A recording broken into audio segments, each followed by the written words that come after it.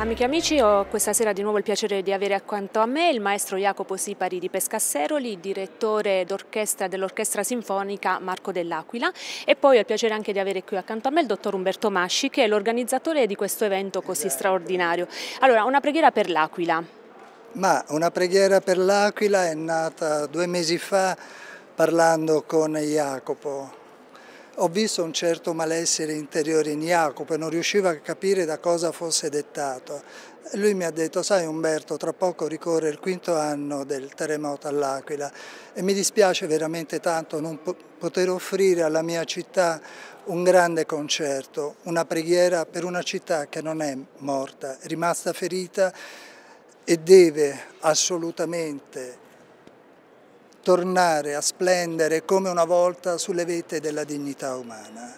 Ed è per questo che ho detto a Jacopo, guarda Jacopo, accetto una sfida, cercherò di organizzare con te questo concerto, anche perché io domattina compio 60 anni, quindi mi sembrava giusto anche accettare una bellissima sfida e ringraziando Dio perché le vie del Signore sono infinite ci siamo riusciti. Grazie.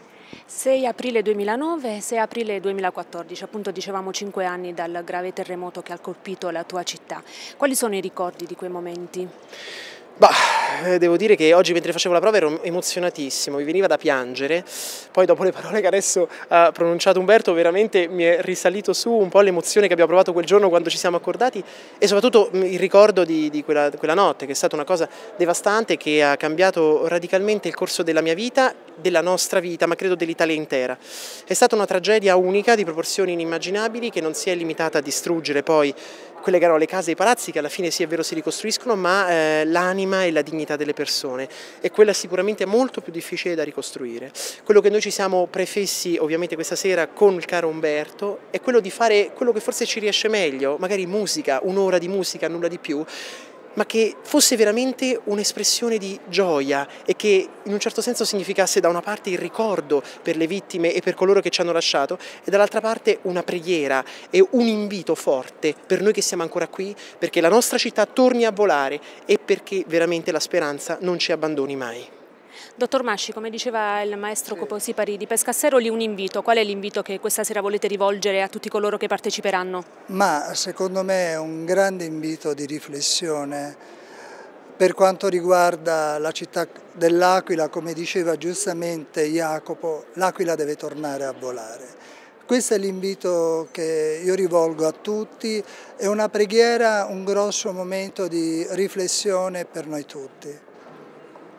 Jacopo, la dignità degli aquilani è indiscutibile, hanno pensato subito a ricostruire, quindi non si sono come al solito magari come abituati a piangersi addosso. Sì. Che cosa ci farai ascoltare questa sera? Guarda, questa sera noi abbiamo scelto eh, forse il pezzo più bello, ma iscritto, quantomeno quello più ispirato, Requiem K626 di Wolfgang Amadeus Mozart, che è appunto forse il pezzo che maggiormente eh, significa questo, una speranza di rinascita, allo stesso tempo voglio di ricostruire. Io vorrei specificare una cosa, questo concerto è un concerto pubblico, è un concerto aperto a tutti, perché quello che vogliamo fare noi è regalare un concerto a chiunque voglia appoggiare questo progetto di rinascita. Abbiamo scelto la cattedrale di San Giovanni in Laterano, non solo perché ovviamente Caput Mundi, quindi ha un significato, diciamo tra virgolette, cristiano, ma perché è tra le più grandi in assoluto della cristianità. Quindi un po' c'è questa idea della volontà di abbracciare quante più persone possibili che siano con noi vicino, vicino alla nostra città e vicino ai cittadini. Poi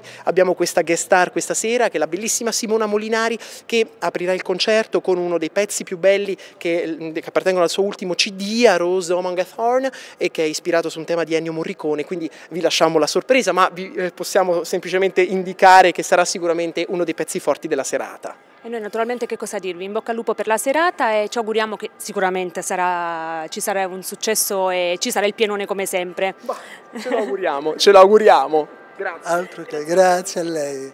Grazie davvero. Grazie.